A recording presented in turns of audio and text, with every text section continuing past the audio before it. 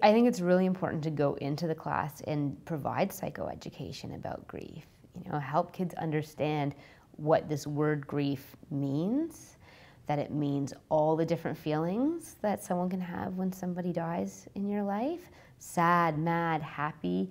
Um, that all those feelings could be mixed in and you could have be feeling 20 different things within a couple of minutes and it doesn't mean that you're going crazy or anything like that that's what grief feels like. And, and really give kids tools for how to support each other when they're grieving as well. You know, one of the big ones being just being a good listener or just being inclusive of other kids. I've had some teachers do wonderful things like put um, a little pup tent up in the back of the classroom.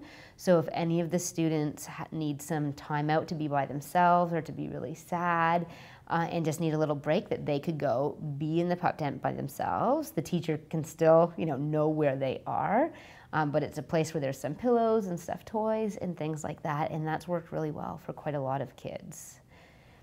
But also give, giving kids a chance to take a break, right? If they need to take a break from class, that there's a plan for who they can go talk to, that they can go talk to a principal or a vice principal, or if there's a counselor in the school, um, and for teachers to know that it can be really hard when you're grieving as a child to pay attention to class. And so a lot of kids will struggle with their grades.